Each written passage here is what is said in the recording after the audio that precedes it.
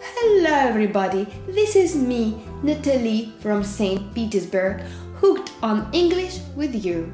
Today we are gonna talk about adjectives. Yeah, today we're gonna talk about adjectives. One of the best ways to sound more fluent when you are speaking English is to use advanced words rather than simple words. In this video, I'm going to teach you advanced words so you can avoid using the word very. Without further ado, let's get started. Here some examples of words you can use instead of very plus adjective. Very rich. Very rich. Instead of saying very rich, you can say wealthy. Wealthy or well off well off. He is a wealthy man. He's a wealthy man. He worked long hours and became well off. He worked long hours and became well off. Very poor. Very poor. Instead of saying very poor, you can say destitute destitute or impoverished. Impoverished. The flood left thousands of people destitute. The flood left thousands of people destitute. We drove through the impoverished neighborhood. We drove through the impoverished neighborhood. Very scared.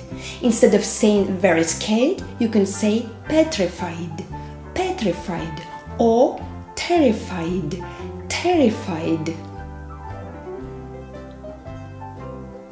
She was absolutely petrified of snakes. She was absolutely petrified of snakes. Honestly, I'm terrified of heights. Honestly, I'm terrified of heights. He was terrified to stay home alone.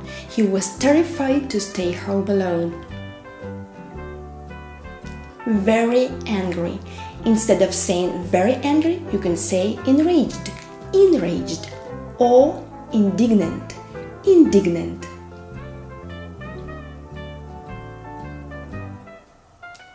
Lots of readers were enraged by his article. Lots of readers were enraged by his article. He his thoughtless behavior enraged us. He his thoughtless behavior enraged us. She's always writing indignant letters to the newspaper. She's always writing indignant letters to the newspaper. Very crowded. Very crowded. Instead of saying very crowded, you can say overcrowded. Overcrowded or jam packed. Jam packed.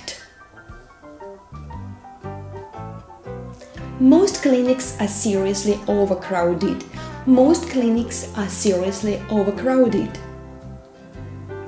The streets were jam packed with tourists. The streets were jam packed with tourists. Very dirty. Very dirty. Instead of saying very dirty, you can say filthy. Filthy. The buses were filthy and overcrowded. The buses were filthy and overcrowded. Wash your hands, they're filthy. Wash your hands, they're filthy. Very clean. Very clean. Instead of saying very clean, you can say spotless. Spotless.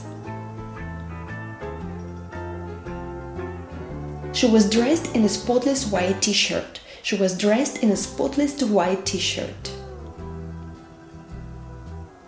The sink and the taps are spotless. The sink and the taps are spotless. Now it's time to create your own sentences. See you later. See you later.